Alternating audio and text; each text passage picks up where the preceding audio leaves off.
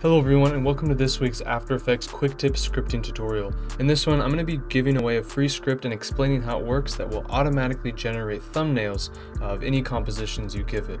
With this script, you're going to be able to click one button, automatically detect the compositions you want, whether they're selected or just the general compositions, and then immediately begin rendering them out in Media Encoder, and as well as saving out screenshots associated with those. So both an image and a video thumbnail will be auto-generated based on compositions here. Before we get started, I do want to remind you down below, hit subscribe and the bell icon to be notified of new videos coming out twice weekly on the channel, and down in the description, you can check out the code for this in the GitHub link, try it out for yourself and generate your own thumbnails. Follow us there on GitHub and down in the description as well, you can follow us on Instagram. If you're not a member of our Discord server, you can join and get help with scripting, extensions, plugins, expressions, and much more.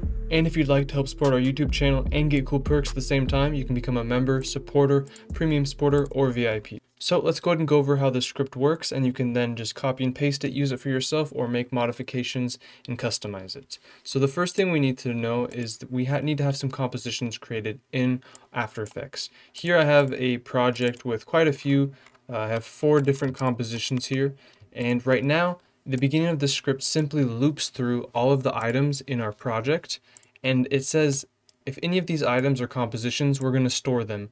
And these are going to be in our found comps uh, array. This is all external to any function, so this is a global uh, variable called found comps. But then the main function that does everything in this is called generate thumbnails, which simply takes in compositions, a list of compositions as an argument. And in this case, since we just looped through everything in here and found all of our compositions, stored them in a variable, we're now going to pass that as an argument. So now we can loop through all of these compositions and each one of them we want to render out a preview image and a preview video.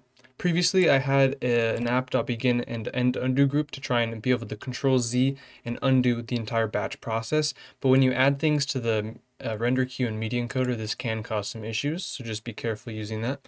And then I have simple definitions for each of the render queue items. We're going to basically be adding each of these compositions to the render queue, and then we want to be able to modify that information, such as the file name and where we want to save that file to. So what we do is we loop through all of those compositions that are coming in and basically in this case we have four so it's going to loop through each one of those.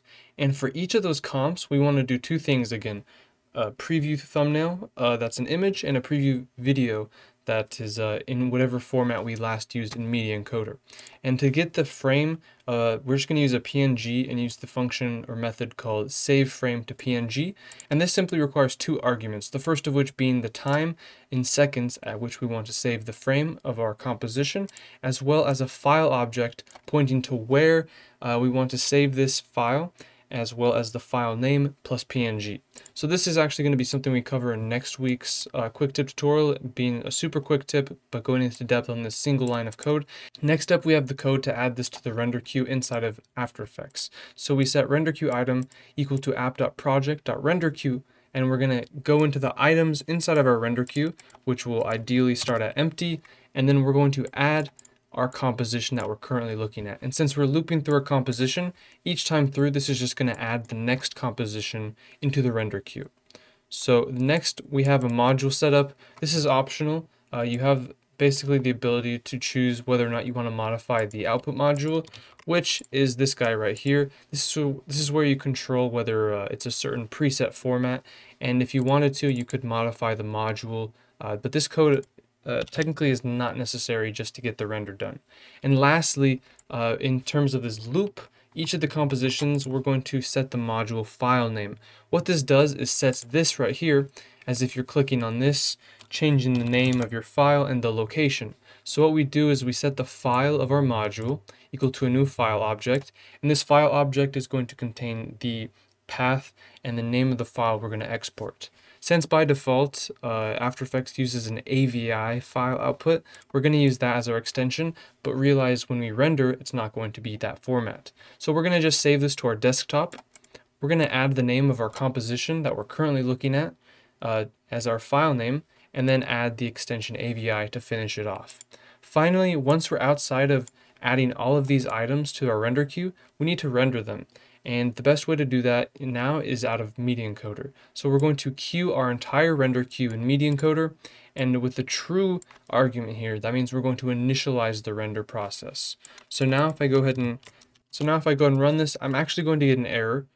Module is required because we need access to the module file. So that line is actually required.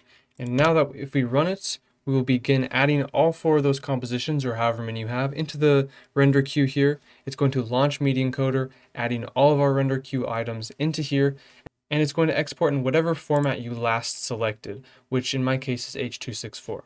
And you can go in and make customizations to this, whether you want to customize what comps you select or the file formatting and things like that.